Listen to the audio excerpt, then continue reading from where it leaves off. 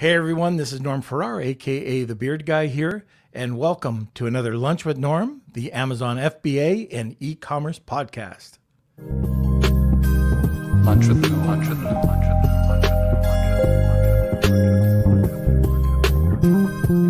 Norm. Have you ever tried to build a successful team? It's not as easy as you think. So today it's going to be a great podcast. We're going to be um, talking to John Hefter about how to build a successful team. So John uh, is over at Thrasio. Uh, you've probably heard him on all sorts of different podcasts. He's frequently over at Seller Sessions. Anyways, uh, he's a great guy. He's going to just give us some insight into what he knows. But before we get into that, uh, I just wanted to. This is the biggest thing is to say thank you to our sponsor, Global Wired Advisors, of course, a leading digital investment bank focused on optimizing the business sales process. For more information, please contact globalwiredadvisors.com. All right. Now, with that being said, where are you, Kelsey? Hello. I'm hey, back in Toronto. Going? Good, good. Doing yeah, fantastic. In your, in your my dungeon little, yeah, closet there. That's right. Yep yeah, the salary is working nicely. Oh, good. See, there yeah. you go. You got a closet. Oh, yeah, yeah, leveling up. Uh, okay, so yes, welcome everyone. Uh, welcome to the show. It's good to see everyone.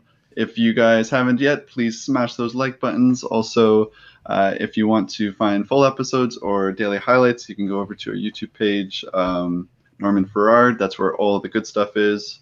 Also, uh, we do have a really great prize. We actually have two prizes that we're going to be announcing um, shortly. And yeah, if you haven't already, uh, please head over to our Facebook group, uh, Lunch with Norm, Amazon FBA, and E-commerce Collective. And uh, that's where everything happens. That's where the good stuff is. And I can see that we got Mark joining us already. Welcome to the Beard Nation, as well as Dr. Cause. Good morning. Good morning. John is the man. Yes, he is. Okay, so if you have any questions, uh, please feel free to put them in the comment sections. Also, if you're looking to catch the next episode of Lunch with Norm, make sure you like us on Facebook, subscribe to us on YouTube. We're almost at a thousand subscribers, so it'd be really great to get over that hump there. But uh, also Instagram too, you can give us a follow. Just search uh, Norm Farrar, and you'll be able to find that. And welcome, I believe this is Rad and Jessica Rabbit. Also, all the way from Daniel uh, from Brazil, Daniel. All the way from Daniel. Great. All the way from Daniel. Yeah. It's been a long morning. Okay, welcome everyone. So we can jump right into it now. Okay, so I, am really excited about this because um, Thrasio, as uh, you all know, is the fastest billion dollar evaluation ever in the history, I think, of sale or, uh, in business, right? I, am going to get John to confirm that. But, um, anyways, I can't wait to talk. Uh, this is going to be a good one. I love um, listening to entrepreneurs and you know figuring out how they scale their business. It's such a tough thing to do. So let's get started. So sit back. If you have any questions, throw it over into the Facebook or into the comment section. We'll get to the questions and sit back, relax, grab a cup of coffee, and enjoy the show. John, where are you?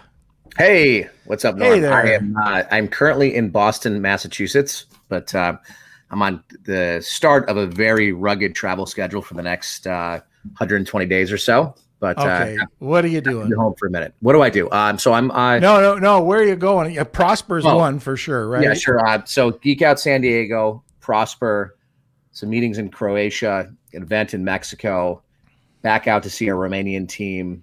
Um, and then Serbia, and then an event in Kiev, Wyoming, and then I'm back home for a bit. Oh, so uh, it's going to be a little bit of a, a, stretch for me, but I'm in for the I'm marathon runner. Actually, not really, but uh, for in this case, I I am. Uh, you know, John, I don't know if you know this, but I'm a triathlete. Fantastic. Yeah, Kelsey, um, I, I hook onto his back. He swims. then when it comes to the bicycling thing, it's a two bicycle, you know, two person bicycle thing, and then he pushes me in a wheelchair all the way to the finish line. Perfect. He, but he never makes it to the end. That's the thing that really sucks. I just, ah, if he'd only try harder. so, John, now let's talk about what you do.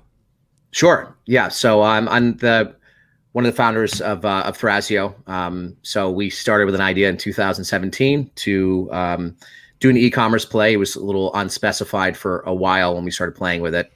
Became clear to us that uh, Amazon FBA was a, a, a place to play in for the sole purpose. I mean, for the sole reason, really, because um, one, it was something that you could scale because the operational complexity was similar across different category domains it's a little bit different in, in the e-commerce space. You need different types of teams for different things. But we thought we could build a platform. And what we discovered um, too was that as these FBA businesses were growing, um, normally as a business grows, you find a way to get more efficient.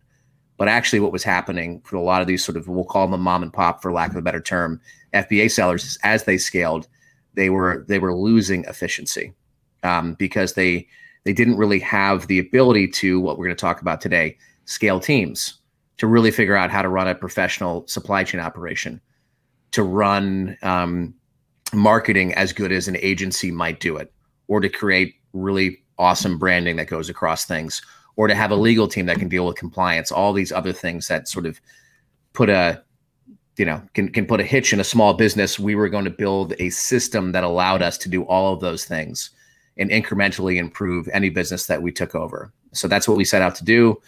2018 was four of us who started the company. I believe we incorporated March or April of 2018. Um, since then, uh, we just eclipsed our thousandth employee uh, about six weeks ago, um, and uh, we should do a roughly a run rate of uh, 1.4, 1.5 billion if everything stays uh, on schedule by the end of the year this year.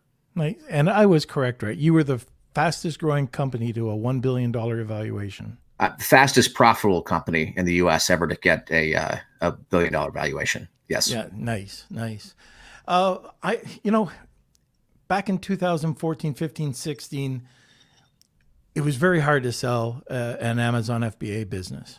Um, all of a sudden now, everybody and his mother is coming out of the closet trying to buy Amazon FBA businesses. Where was the change? Where was that turning point? That's I mean, that's a good question. Look, when we started, there really wasn't a sophisticated M and A market in this space.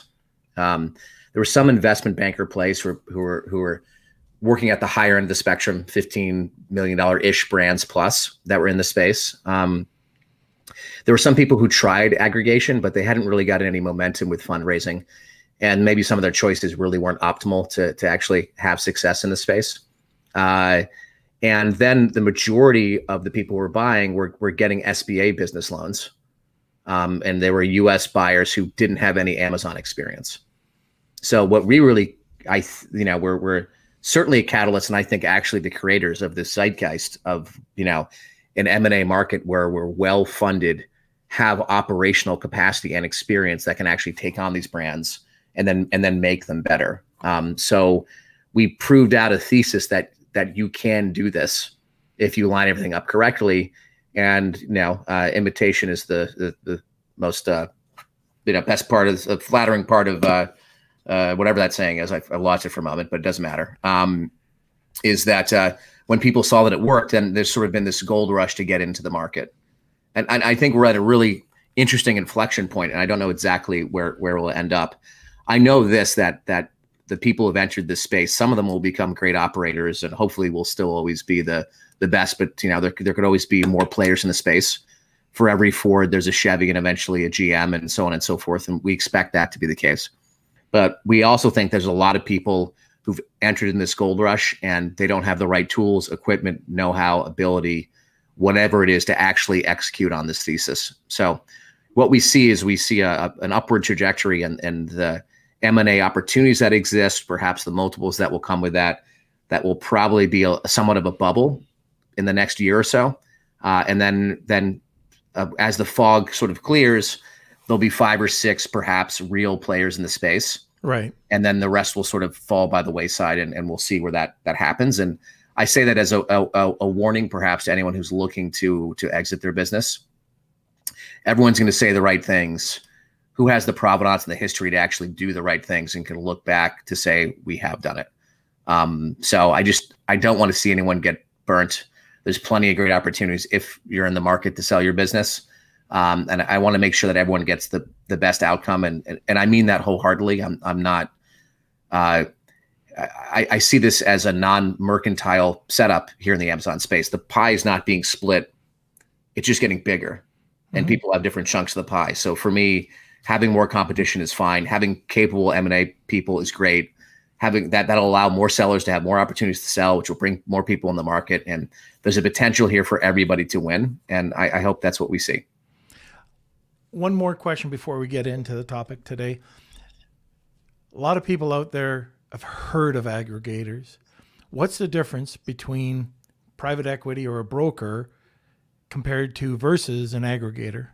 Sure. Well, I mean, the M and A process with a with with a uh, private equity is is really pretty extensive, deep, long, hard, complicated, right? Uh, and then then often too, you'll be partnered with someone who might not have the specific esoteric Amazon experience that'll actually know really what to do with your brand. So the, the multiple sometimes you can get on the private equity side will be more attractive potentially, but the complexity and the like the likelihood of handholding by you as the former operator for an extended period of time after you've exited is super high. Um, the the aggregator piece, which we don't actually like to call ourselves really an aggregator, it's sort of a, a misnomer for us because at the end of the day, we're really we're first class operators, right? And that's what we've proven is is oh, virtually every brand that we've acquired, it's over 125 now, have seen significant growth post acquisition. So we see ourselves really as the most capable FBA operators in the entire space, um, who ha- who happens to have an M and A engine that that that drives, you know, some of our our, our really exacerbated growth. Um, right. But to me, that's really like if I was going to if I had an FBA business and I was going to sell it, I would spend most of my time, yeah, you know, like find a price range that you're comfortable with, see who's attracted to it, and I would spend most of my time learning how they do operations and and just see like what's really behind the curtain. Is it is it built on something that's um, that's on solid footing, or is there is there something more to be seen? Great. Okay, so before we get to the questions, or before we get to my questions, um, let's talk about the giveaway. What do we have today? Okay, so for me, what I want to do is um, I love branding. I love product launch, right? I also can talk my ear off on a, a ton of other specific topics related to running a business or running an Amazon aggregator or or brand building or pro- whatever it is. I'll give someone a half an hour of my time um, to look at their product roadmap, to look at their current branding, to look at a new concept they might have, and I'll help them hopefully uh, get the best potential outcome for it, or or at least set them on the path to start that process. Um, and I'll do that like completely open as if it was my own brand that I'm helping out. It's actually something I really enjoy doing. Um, and I've even uh, helped out people who are in a space that we're also in because I'm I'm just that sort of type of person that doesn't really at the scale we're at with 20 30,000 products why wouldn't I help somebody it doesn't right. make any sense to me that I why I wouldn't so I'd love to uh, help one of your listeners out to find a direction and maybe a fun angle to sell a product. Well, that sounds fantastic. So it's not very often you get one of the founders of the fastest growing uh, or fastest growing, fastest to a billion dollar evaluation, Thrasio, to help you out for 30 minutes. I'd, uh, I don't even know what that's worth. It's worth a lot of money. So if you're interested in that, hashtag Wheel of Kelsey. Uh, Kelsey, we also have uh, from Marcia Reese, one of uh, from Staywell Copper, one of her uh, copper plates today, correct? Yep. So if you are from U.S. or Canada, anywhere in North America, you're eligible for the second uh, contest. That is hashtag I want to stay well, and that is for a copper uh, backplate. Uh, I have one on my phone here. Um, but yeah, that is from our Beard Nation member Marsha Reese, uh, who's donated them for us. So thank you, Marsha. and uh, yeah, visit uh, staywellcopper.com for more information. And thank you. Okay, so it, I guess it's hashtag stay well copper, right? Hashtag I want I want to stay well. Okay, there we go. He, he never does his job. Never. All right, John, let's get into it. I love scaling teams. I have never scaled the volume that you've scaled so quickly. Uh, let's talk about how you do it. Where do you even start off? What are some of the difficulties scaling your team? That's a that's that's a great question. I love this topic. Yeah. Um, you know, I've been fortunate enough to uh, well to be traveling and be talking at a lot of events. This is the topic. You know, when you're speaking to an audience, you're you're actually really you're having a dialogue, even though you're the one speaking. This is the topic when the room goes silent, which to me means like people are really listening mm-hmm. because there it's this sort of like black box of like how do I do this? How do I create an environment that allows me to scale without losing my mind, without having massive points of failure, with with you know without all of the sort of like tragedies that you create in your mind that don't exist. Um, so to me, um, th- there's a lot of ways to look at it. The, the way that I am really most interested in is the psychological mindsets that it takes to actually uh, embark in a journey that will allow you to scale. I was having a conversation with a friend of mine uh, about an, another person who's doing great um, in the e-commerce space, and he looked at me and he said, "You know, that guy's a three million dollar guy," and it wasn't to disparage this guy who's built a really great business. What he was saying was that this person's brain will block themselves from scaling a team because he looks at the world only as a top-down organization where I'm the most brilliant person who has all the best ideas, who needs to be in control of everything, who needs to come up with every new idea, who needs to review every piece of content that I produce. Ugh.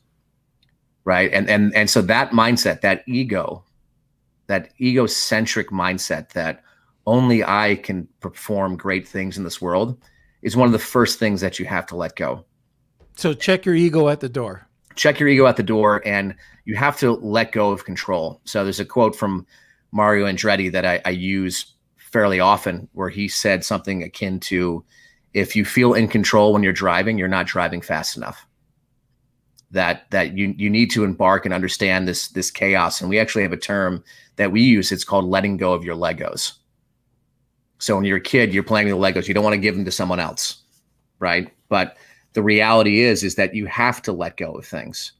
You need to accept and, and understand this very simple analogy that i can train five to ten people to be 90% versions of myself. If i really obsess about it i can make them pretty good derivatives of what i am and whatever i'm good at. Um, that's that's about where you can scale. That's where you're limited. But would you be willing to accept 100 500 1000 people who are 80% as good as you and which one would likely lead to better outcomes for your business if you're trying to scale it. The latter is obviously better, but that requires um, this really letting go of things. It also requires, I think, being humble enough to to really take a clear assessment of your weaknesses and to understand what you're good at and what you're really not good at. And what do you like doing and what do you hate doing? Don't so do strengths, strengths and weaknesses. Correct. Don't do things you hate. I have no interest in doing QuickBooks type work or doing accounting stuff. I'm awful at it. Why would I waste 10 hours a month, 20 hours a month of my brain power, right? To try to do things that I hate that I just want to push away as fast as I can. I need to find complements to people who are more structured and organized and are good in those domains um, and figure out what life I really want to live and and to me it comes down to understanding your weaknesses. And some of it might be norm. Something that you said that was the same for me a few years ago is i never built a team of a thousand people before. How, where do where how the hell do you start? Well i know a good place to start um, and it's something that carlos and josh did an amazing job with was identifying when we were 50 employees that we needed to hire someone who had experience building and working with teams that were over 10,000 people. So they could come in, bring the systems in, bring all of that networking and policies, procedures, so on and so forth to deal with that level of scaling. And part of the chaos piece too is committing to probably neutral returns for an extended period of time. If you really believe in your business and you really think that it it has potential to have massive growth, you need to commit to growth. That means investing in HR resources. That means hiring maybe a president because maybe you're a great tinkerer or a great branding person, but are you really the business leader who should be running the operation? you know, it might be hiring a great sourcing person, a creative team, whatever it is. And, and you have to have enough self belief and commitment in your business thesis that if I do those things, good things will eventually happen, but it will take time. You know, one of the things on a much smaller scale that we're, we look at is that we create the task board. We work with the 10, 10 100 1000 $10,000 jobs. You've probably heard of that. You know, then then we start to assign the tasks. We typically have one major person that will hire full time, and then we hire experts. We hire, you know, the person that might be just for and, and again, much smaller scale, but just the person that we can count on for Facebook ads, Google ads, writing content, and the other person just becomes the maestro, right? They're they're just working and delegating, and uh, uh, you know th- that's one way for us to, to to to get going. And the other thing is, I have made. I was talking on Clubhouse the other day in my room about the biggest mistake I've probably made at the beginning was thinking I was a really great hiring expert. I sucked at it. And you know, if you uh, if you get the right person, I mean, every time you make a bad hire, I I've read it costs about five thousand dollars. Just think about that, and I've made a lot of bad hires until I I, I got my process down. But um, yeah, do you want to expand on that? Yeah, I, uh, so hiring's a really tricky thing. I, I said often like uh, even I can act normal for one date you know what I mean? Like, so it's it's it's really it's really it's a really hard thing to get right, and and there aren't necessarily like um, specific tricks and tactics I can use to be better hirers. There are some pointed questions you can get to it, but there are HR people and expertise that exists out in the world um, where you can get better at it, and they'll be able to see things that maybe you don't really look at clearly. It might be something as simple as like, well I see eight jobs in in nine years. I think that's a problem. We might not look at that as we're looking through a resume. We might just looking at they have the Shopify experience that we need. So for me, the what I, what I'm going to turn this on is uh, is a couple ways to look at the world that I look at it. Sometimes you get someone in a room and they're clearly smarter than you, and whatever it is they're trying to do, and maybe you're good at all kinds of things, but you're like this person clearly knows um, Power BI software, product launch thesis, branding, supply chain, and they're way smarter than me. That to me is the best opportunity to hire someone and and get them do whatever it takes to bring them in the door. I'm a believer and we're a believer in long-term commitments to people and we're really a believer in being humble enough to hire people and be brave enough to hire people who are smarter than you and then let them go out in the woods and leave them leave them alone. I love it that's another thing too. Like I, I hired a guy in, who runs our Utah office. And by the way, here's another thing when it comes to geo hires. Um, I don't care where you are. If you're really bright and you're really good at what you at what you do, we'll start an office anywhere. It could be a virtual office. It could end up being a, a real office. Because I find that most people who are really bright and good at things also have friends who are really bright and good at things.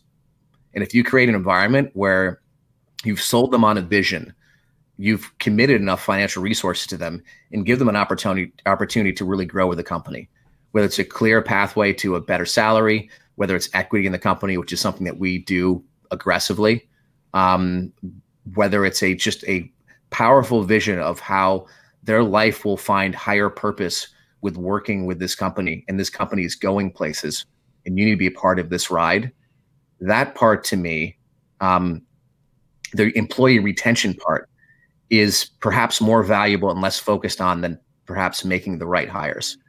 To me, and we have on Glassdoor, it's something ridiculous. It's 97 point something percent uh, retention rate for our employees. Why? We give them autonomy. We give smart people freedom to, to work how they want to work when they want to work. Um, we have lofty goals and lofty visions in the sense that like we want dreamers who want to climb the, the mountaintop, who want to go over the horizon and check out the unknown and build something that they'll be proud of for the rest of their lives. We set a, a real vision for them. We pay them well. We give them good equity. We treat them well. We create a culture that's not too stiff. It's sort of, we, you know, um, any any jester can make fun of the king at our company. Humor is a big piece of what we use, and we try to create a place where people want to stay. And when you get good people, they want to bring their friends. And we get so many referrals from smart people who say, "Dude, this is the best job I've ever had. These people are great. I'm gonna I'm gonna bring in someone else." And then you retain them because just like you said, Norm, it's so hard to retrain somebody, put them through the whole process. I'd much rather have reliable people that I can make better and super smart people who will bring their super smart friends than anything else. So I think you need to frame yourself as as a as a look at long-term retention and think that don't think about the short term well geez this might be a little bit too much money or i don't want to give away a piece of my business or whatever it is think about what you could be mm-hmm. if, if all of those things came into place and people were banging down your door talented people to come help you build your brand you know one of the things that I, I really liked hearing you say at the beginning was 80%, not 100%, but if somebody could be 80%, people are going to make mistakes. And I've talked to uh, a lot of um, small business owners, entrepreneurs, maybe medi- medium size. And at the beginning, a lot of the frustration is because people are not properly trained. So they go out, they hand the information over to the person, they make a mistake, and of course they get screamed at. So, first thing that happens is the person's afraid to approach you uh, with solutions. You know, people are going to make mistakes. And I love what I heard about, you know, just don't micromanage. Let people do what, you know, and and one of the things that we try to do here is uh, anybody in the company they don't come to me they don't come to you know any of the uh, project managers. They come with solutions. We try to do that right at the very beginning. Hey, look at we do incredible SOPs, or I, I like to say policies and procedures. So it's in depth. They know why they're doing it. They're doing the buy-in, and we have instead of 10 steps, there might be 30 steps. Every little click. If if there's a mistake, we know it's going to be step X.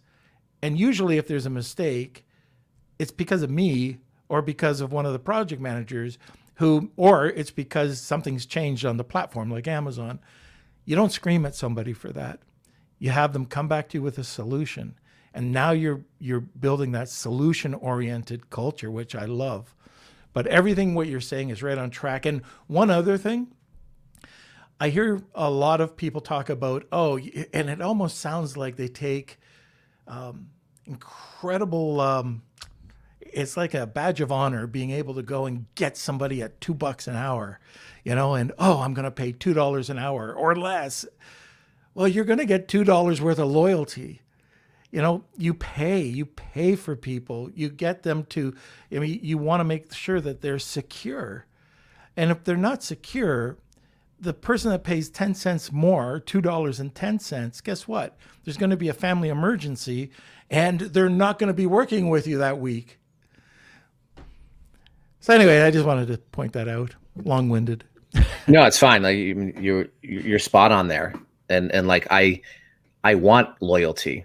And here's another another thing too. If you don't create a culture where people are willing to admit their mistakes for fear of some you know some type of retribution, right, uh, or or or shaming perhaps, then this is what happens. Uh, problems get stuffed under the rug Mm. Your employees will just hide real problems for you. And as a saying that I actually, I, I think I coined, it's like never be afraid to tell the Kremlin there's a fire. Right. And I, I mean by that, luckily, the, the Chernobyl incident. Right. How there was just fear to actually send bad news up the top, and then look what literally a nuclear meltdown happened. Well, those things can happen in a practical sense in your business. I'll give an example of this. Finally, when um, got vaccinated. I already had COVID. I was like, I'm traveling. I'm done. I'm going to meet my teams and whoever's comfortable come in the offices, they can come in and meet. So went to Utah first, I believe. And I sat down with every subgroup, right? Like uh, people that I don't have meetings with very regular, people who build flat files and so on and so forth, build our listings. And I was like, all right, guys, tell me everything that's going right. I want to know everything that you guys love about this place and what you really enjoy. five minutes. I'm not actually really interested in that. I'm, I'm always interested in solving problems, right? Now I want you to tell me, no matter how much minutia you think this is, everything that's going wrong. Let's do something I call burning off dead wood. Is there a part of our systems that we've built that were appropriate for the time, but now have been a total waste of time?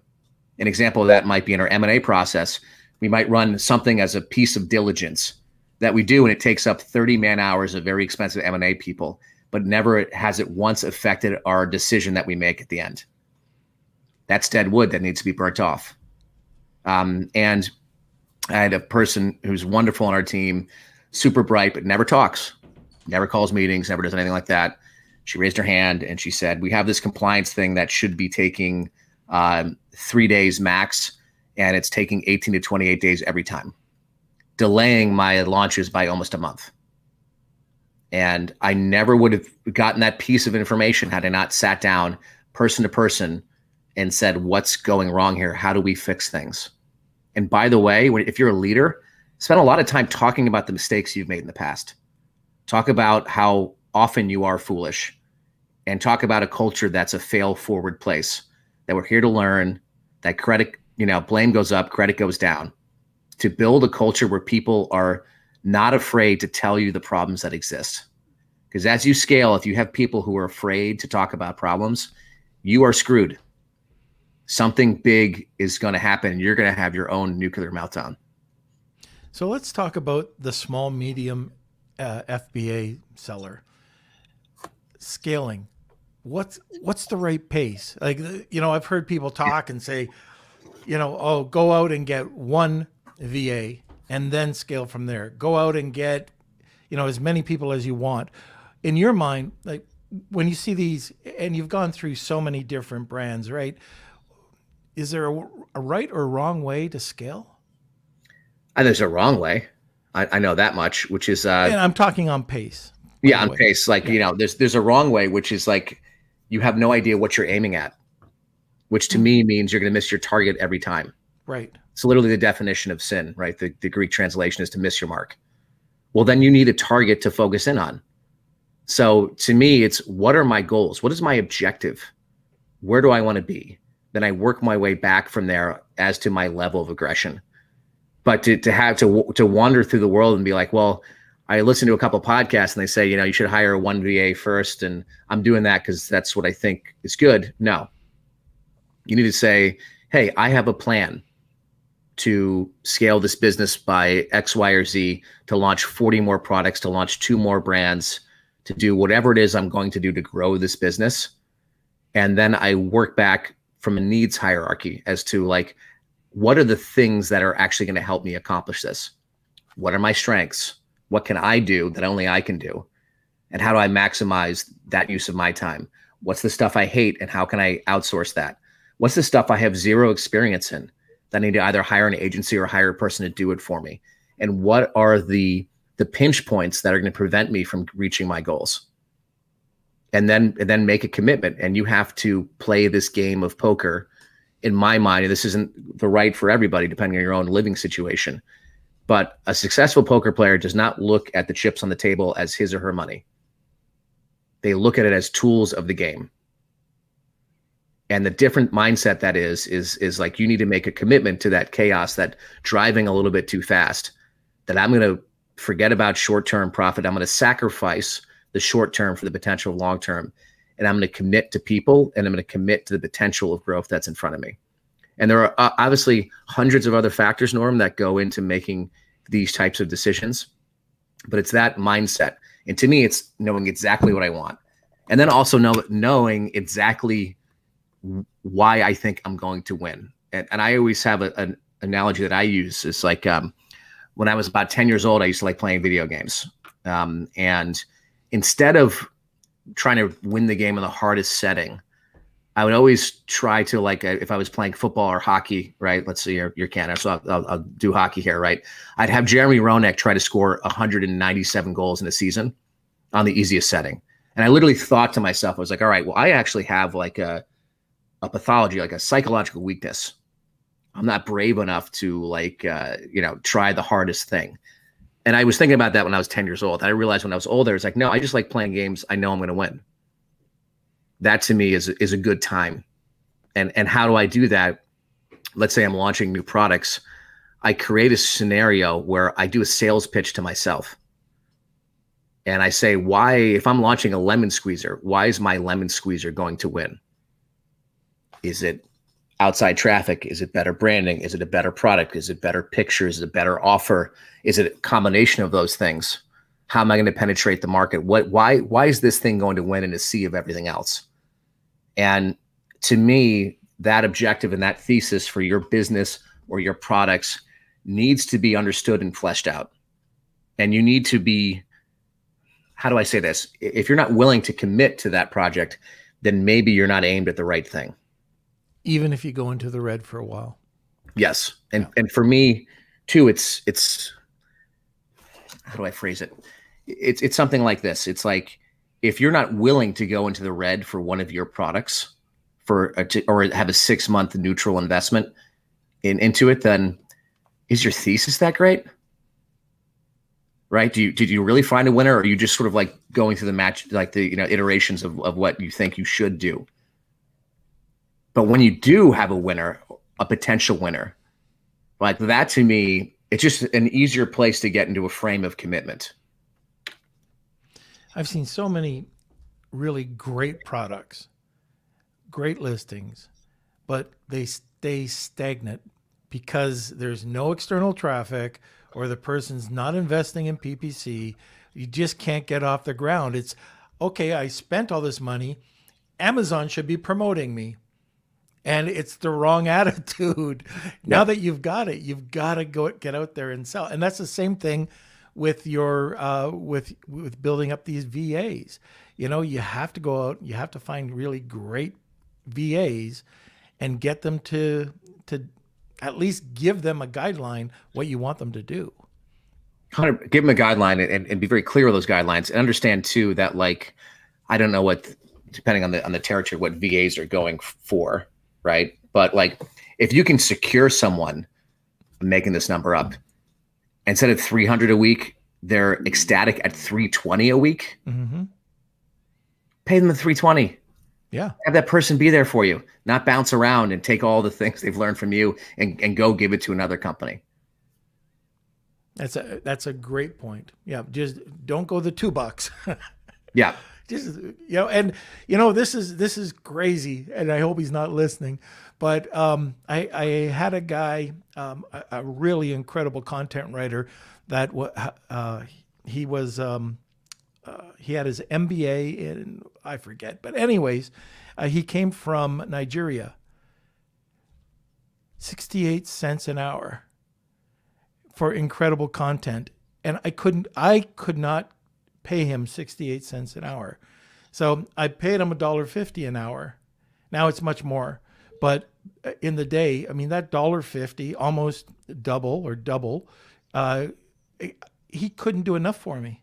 Yep. You know, but I felt so guilty even at a dollar fifty. Now he's eight dollars an hour. He's happy, but yep. but at the time, you know, and you make people happy. If and this is another point um, you you talked about this just briefly at the beginning, but make sure when you're hiring that you you make sure that the um, the internet is up, that they're running proper. If they're running dial up, you know you're going to pay double or triple. If they have a slow computer, you know get them a computer. If they're at that point where you've got them on board and you, maybe you've given them a probation period then make a deal. Get them that computer. Get them the the stuff that you need. I know in the Philippines, um, in some of the locations, we buy generators. I've said this on the podcast before. But if the person is set up to succeed, then you're set. You're one step further.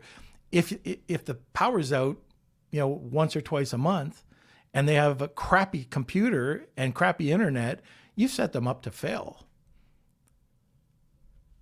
Hundred percent. I, I also think it's another thing that's good to think about as you start to scale your business is you have remote offices finding really reliable generals mm. who run those places for you right and maybe maybe you get to a point where you have 10 vas well one of them better be a well-paid functional arm of your business who says, "Hey, you know, I think we actually need it. We need a real office because I'm going to build these training programs and make sure they get done, and I'm going to do this reporting for you, and I'm going to make sure everything's good, and we'll have a check-in once a week, once every two weeks, to make sure that everything is running according to plan." Now, just imagine. I, I can imagine people listening right now, like feeling a, a heightened sense of security about having that person, whatever remote office they have. And to me, I can't stress that enough to need good leaders, right? You need good leaders who, um, if you were to go away for a month, you know, and uh, you're, you're stuck in Canada, so I don't know, you were going to go to uh, to uh, Bismarck for, uh, you know, you know, for for the summer and not check your work, would everything be functional and running well, relatively well? Because by the way, that should be your goal. Mm-hmm. If you're not doing a good job in business leadership, if your everyday commitment is necessary for the business to be operated correctly. And who taught me that was really was Carlos Cashman, you know, one of the other co-founders. And he said to me something uh, akin to this, where he was like, um, "You're working too much. You want to do better, do less." And I was like, "What the hell? What does that even mean?" when I first thought, you know, I was I was that naive really. It was sort of like, what does that mean? And I really started to to think about it. And and what he what he was saying is that like if you set things up properly and you put the right people in place, you don't need to work as much. And that's right. actually a reflection of how good you are at your job, not how bad. And all of us who start in entrepreneurial mindsets are doers. We're all dreamers and doers, right? And and we have this delusion that we need to always be the doers in order to be good at what we are doing. And I think that's a miscalculation. I think a better understanding of it is no, we need to do the things that we're really good at and empower people to run the business for us if we're going to have any level of scaling success. Really get great insights. Uh, okay, we're going to stop here for a second. I'm just going to remind people if you want to have the 30 session, uh, 30 minute session uh, with John, it's hashtag Wheel of Kelsey. Also for uh, Marsha Reese's uh, Stay Well copper plate for the back of your phone. Uh, that is I want to stay well. Hashtag I want to stay well. So also, if you want a second entry, just tag two people. Okay, so and we have a hard cutoff at uh, one o'clock today. So let's get into some of the questions, Kels. Sure. Yeah, we have a bunch of questions coming in. Uh, first one from Kyle. How much revenue should I have before trying to hire out the work I'm doing? Working 50 plus hours a week of building my Amazon and Shopify business. It's very hard to, to give any direct specificity here, um, but you can do some rough math, is, is what I would say to do. And I would say look at that 50 hours a week. Again, how much do you enjoy doing and how much do you absolutely hate doing? and that's where I would start is is um, and and I would say how much of that work is preventing you to from actually growing your business. I would start there, and I would say it doesn't always have to be a, a full time person too. It can be someone who does your accounting for you. Mm-hmm. It can be someone who's outsourcing and doing your branding. It can be a project manager assistant who's helping you out 15 hours a week till you figure it out. It all depends on you, but I would look at how your revenue is scaling what your actual net margins are after everything's considered and how much of that you're willing to play with to commit to people. And I would make sure that um, whatever or whoever you hired was either making your life easier so you could grow your business or directly helping you grow your business. And that would be my my thin sliced answer for you. Very good. Uh, from Simon, what are John's thoughts on the antitrust issue and the potential of Amazon being forced to break up in the not too distant future? Yeah, it's a it's a hard thing to predict. Um, I, I, would say the the likelihood where I think the anti-competitive piece is really coming into is not like a standard oil breakup, really, but more that they probably will stop selling their own products. That's where I see this sort of going, at least in the near future. Um, and as far as the marketplace being split up, I, I I don't see that as being a likely major threat in in the near future. But again, this is not. I'm going to say the first one to say this is not my domain of expertise. So, boy, I'd, I would love that. okay, uh, I believe this is from Tony. Is Thrasio planning to go public? Um, my my legal team has told me that all options are on the table and anything is possible. Next question. all right, great. Okay, from Ankit, uh, do you launch your own new brands or you just acquire brands and then scale them up? Uh, we launch our own brands. Yeah. Um, so we will total new products this year will be just now. Uh, we're planning north of 500 products launched. Um, a lot of those are extensions, variations of, of, brands we've acquired, but we'll have at least 10 or 15 in-house brands that we're building from scratch. And some of them are tied to really cool licensing plays, a little bit of celebrity plays that are that are in play right now. And others are just opportunities that we've just seen where there's massive demand, um, generally some level of complexity, so it's hard to people to enter the space, and low or low quality competition. And I love it. I, I love brand building. So for me, it's like super fun to play with those toys. Awesome. Okay, uh, from Simon, to scale and be su successful, a business needs to be profitable. How is Thrasio addressing the rising cost of shipping and materials? Well, it's interesting. Like when you when you deal with this sort of thing, there's a couple ways to look at it. Number one, if you're having that, and we're the you know a massive multi-billion-dollar company, um, we're going to be dealing with it less than others.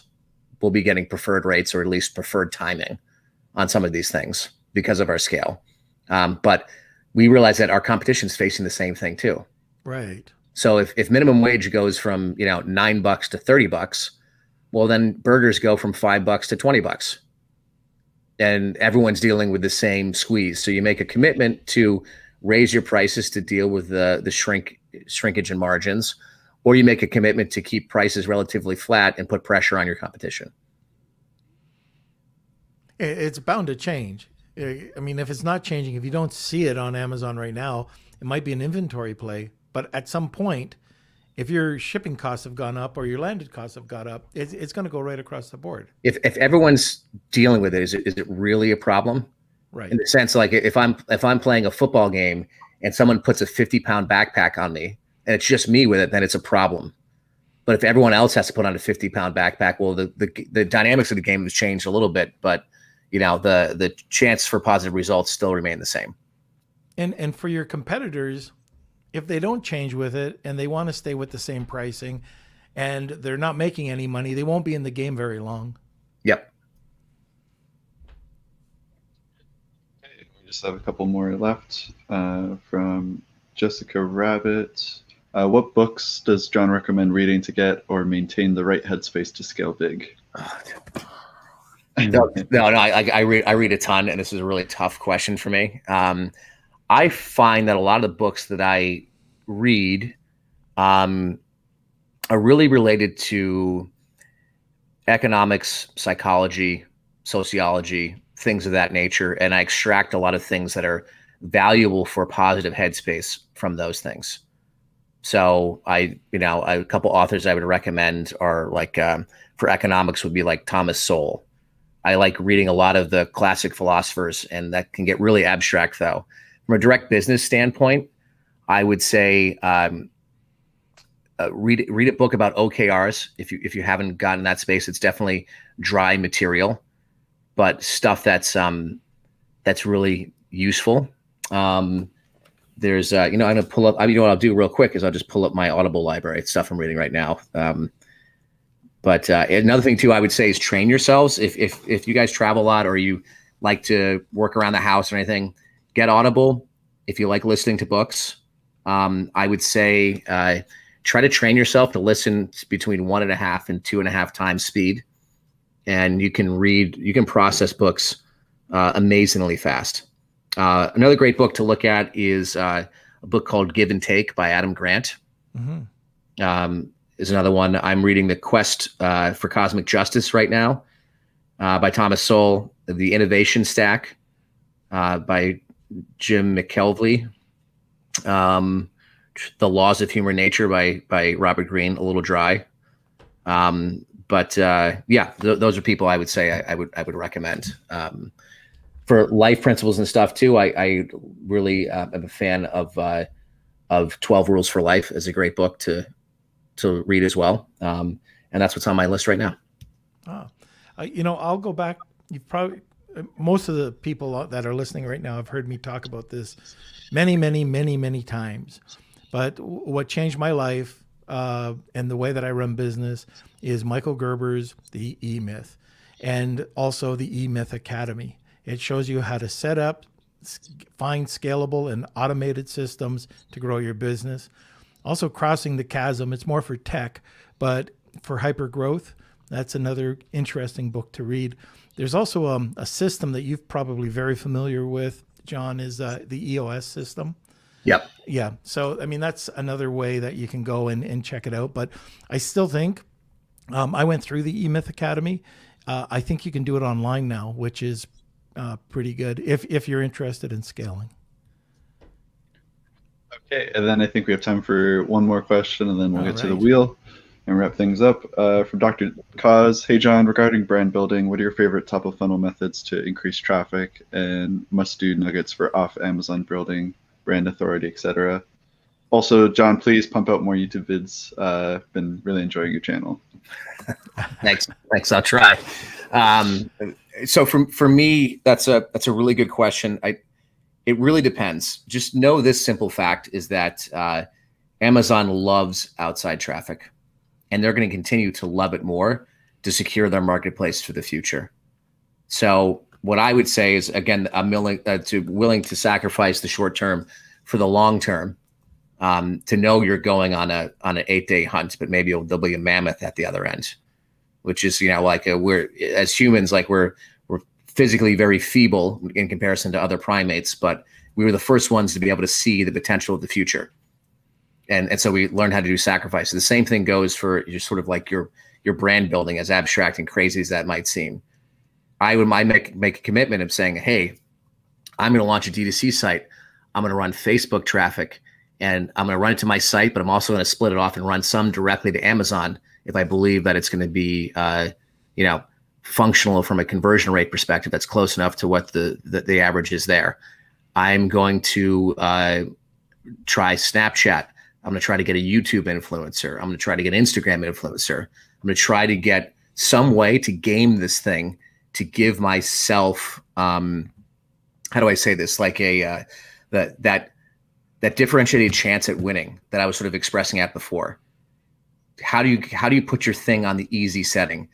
And if your thesis is good, like I mentioned before, and you really believe that my lemon squeezer is going to be better than anything else in the market, then I just call it like just freaking pump the fire hose, man. Just run it and, and know that not all of it's going to work and that's fine, but give it everything and and give it its full chance to to actually reach maturation. All right. Okay. Yeah. So that's it for the questions from the audience. Um, I think we're right at the time to start wrapping up. So we can do the wheel or we can uh, do that afterwards um, if we're tight on time. But yeah, what do you think, Norm? Why don't we uh, go for the the wheel? We got to give uh, John some time to get onto his call. Okay, here we go. I'll just pull up the wheel. This we is the first time for you, John. Today. It is. Oh yeah. All right. So, uh, you might want to turn down the the volume on your computer because okay. here we go. It's time for the Wheel of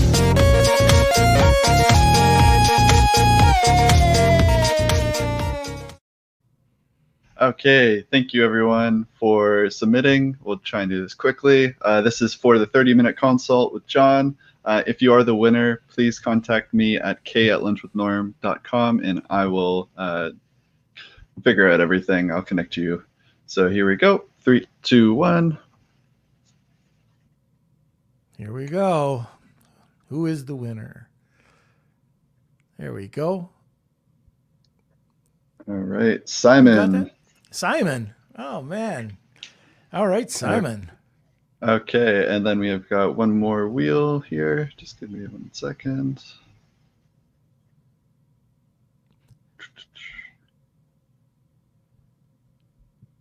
And Simon knows how to get in contact with you, Kels? Uh, yes, he knows. Ah, okay. Uh, okay. Second, we're I closed the wrong tab. Okay, actually, um, we'll save the the second wheel to the after John leaves because we Oh, uh, Kelsey closed the wrong tab. up. But Oh, my I messed gosh. up. But uh, Okay, just well, he's not give me getting a few paid this week, and and right after this, I will scream at him. Everything we said not to do. All right, so John, thanks a lot for coming on. Hopefully, you can come back on. This is your first time. Uh, we got to get you on again. It is, man. Yeah, happy happy to come on. I love uh, I, I love talking shop. So to me, it's uh, it's always a pleasure. Perfect. And uh, I'm not sure we can talk about this a bit later, but uh, love to have you on my club in my clubhouse room. Um, you know, talking. It's a it's a really great audience there as well. Cool. You got it, man. All right. Well, we'll see you later, John. Thank you for joining us. Thanks for having me. Yeah, We'll see you later. later. All right, everybody. So now it's time for the Wheel of Kelsey once again. Or maybe not. Maybe it'll just be me talking.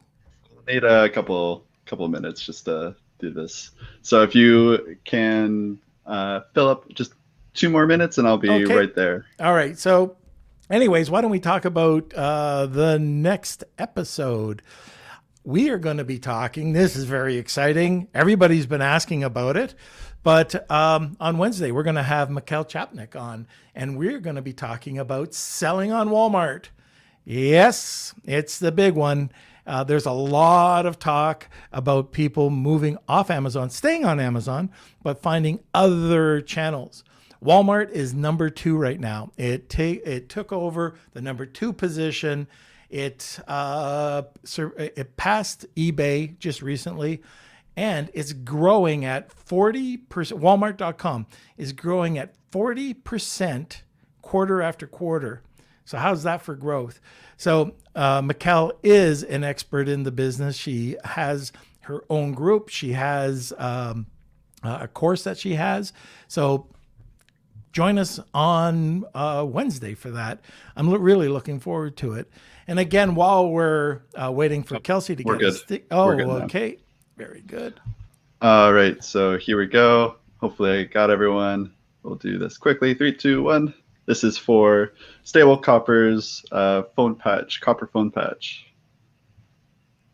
And thank you, Marcia, for the donation. Yes. Andrew C is the winner. So, All Andrew right, C, Andrew. please contact me at k at lunchwithnorm.com. Okay, And there we go. Okay, uh, Amar, talking a bit more about train shipping versus sea. Yeah, we could talk about a, a variety of different types of shipping, air shipping, high speed vessel. Um, anyways, we will we will get to that at a future show. Okay, as I was going to say, just another big thank you to our sponsor for this episode, uh, Global Wired Advisors. They're a leading digital investment bank focused on optimizing the business sale process. For more information, please visit globalwiredadvisors.com. All right, and also today's Monday. You want to make sure that you check out our newsletter that doesn't suck. Uh, you can go to lunchwithnorm.com or normanfarrar.com. Sign up for the newsletter, and you'll see it's solid content. Uh, anything else there, Kels?